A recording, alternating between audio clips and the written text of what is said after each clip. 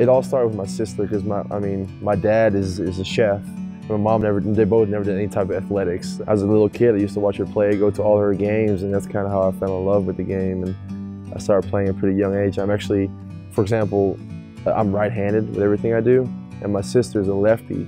So I used to go to her games and watch her play, and I would watch her shoot with her left hand. And then during the timeouts, I would just start shooting with my left hand because I figured that's how I was supposed to shoot. So that's how I became a left-handed player.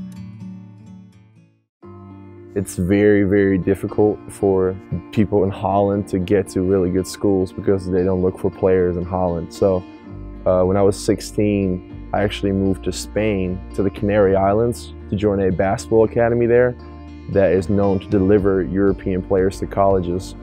It's one of the toughest places to play and, and work out at. We practice like four or five times a day, uh, 6 a.m. every morning.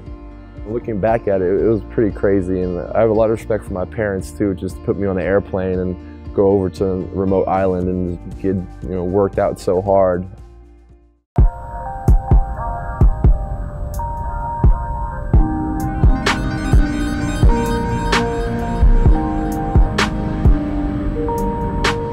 I learned a lot about myself there, and I, I really, really worked hard, and I worked my way up to being the captain of the U18 team and actually played in the national championship tournament there.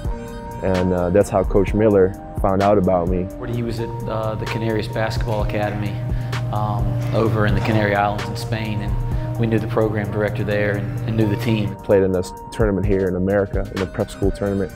He saw me play, and then actually came to Spain to uh, watch me play. Jordy's ability to do the little things really stood out to us when we were evaluating. He saw this guy who was just running, sprinting hard every possession, hitting people on defense, setting great screens, you know, being the team first guy. And uh, he offered me a scholarship. So kind of, we, we, had a little sit down and the connection I had with Coach Miller is one that, you know, was instant and we, we really have the same vision of basketball in the game. We really see the game in a similar way. When I come in as a freshman, it was like the first big class that he had. I want to say we're the ones that have to instill this on the next future generations of players to come. You know, it's not something that you can just flip on. It's something that you got to work on every single day, and you got to keep yourself accountable and others accountable too. And you can literally, if I trace it back, every year we slowly got a little better to where we wanted to be, a little closer to where we wanted to be. So it's just a matter of sticking to it and bringing it every day.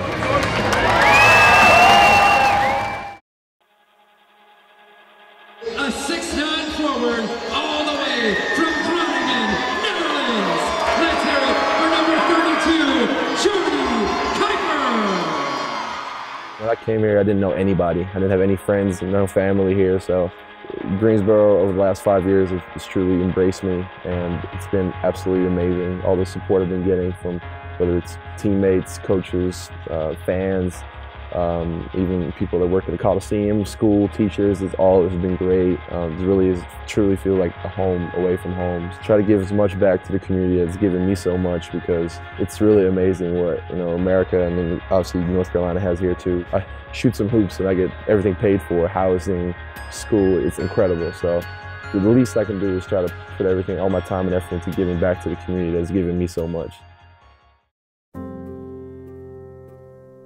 I remember meeting him at an awards banquet probably four years ago. Since day one, they've been super, super you know, huge fans of, of, the team, and they were around for the days that we weren't as good, and for them to stick around and, be there every year, uh, you know, we've gotten really close. I love his passion for the game, and I love his enthusiasm. I love how he treats his fellow players. I love everything about him. He's just, he's great with kids, he's great with adults, he's great with everybody. One of the difficulties about being fans is the fact you can't really get close to the players. It's just not, not allowed to do that. But uh, every time we uh, see him out there playing, he's, he always gives us a wave, comes over and say, says hello to us. And we always appreciate that. And we had a great, uh, great fundraiser for him.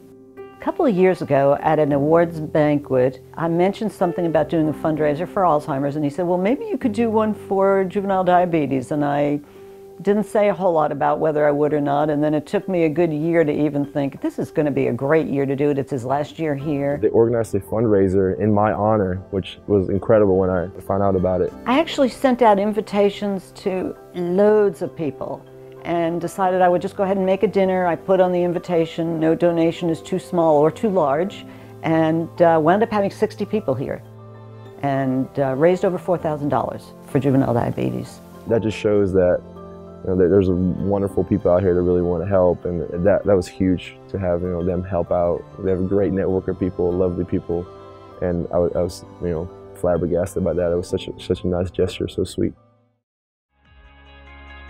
I think Jordy's really represented what our program's about, and that's kind of growth one day at a time. You know, I think from the day he walked on campus to the, the player he is today, it's just a, an unbelievable transformation physically with his skill set and then off the floor as well.